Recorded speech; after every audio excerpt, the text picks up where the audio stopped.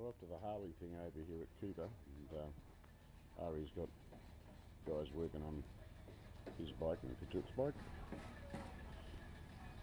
And, uh, Ari's sitting over here like King Farouk.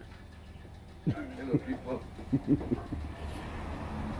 So there's Kajut's new uh, road glide he just picked up.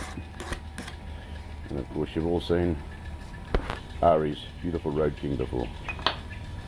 There'll be more photos posted throughout the day. Apparently Willie G Davidson's in Bali and there's tens of thousands of Harleys meeting at um, Kuta Beach. Bye.